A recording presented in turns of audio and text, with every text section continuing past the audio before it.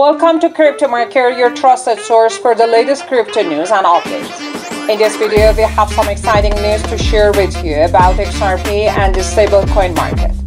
We will also discuss the recent increase in credit card debt in the US and its potential impact on the economy. Firstly, let's talk about XRP. Gemini, a US based crypto exchange, recently tweeted a punny message expressing their excitement about XRP, which quickly gained massive traction in the crypto community.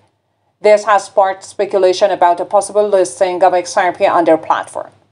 The recent federal court ruling declaring XRP as not a security has further fueled the excitement. While Gemini has not officially announced the listing of XRP, other top exchanges have already reinstated it after the court ruling. We are excited to see what this means for the future of XRP and the crypto market. Moving on to stablecoins, a recent report by broker Bernstein suggests that the stablecoin market is expected to grow to $2.8 trillion in the next five years. Major global financial and consumer platforms are expected to issue co branded stablecoins resulting in significant growth for these cryptocurrencies. PayPal has already announced its own dollar pegged stablecoin, PayPal USD, which will be available on their platform and Venmo.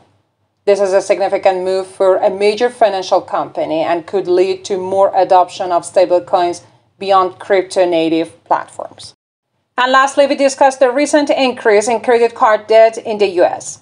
According to the New York Federal Reserve Bank, credit card balances have surpassed $1 trillion for the first time in history. While researchers remain upbeat, stating that there is little evidence of widespread financial distress for consumers, high levels of debt and rising interest rates could lead to a slowdown in the economy. Don't forget to like, comment, and share this video with your friends and family.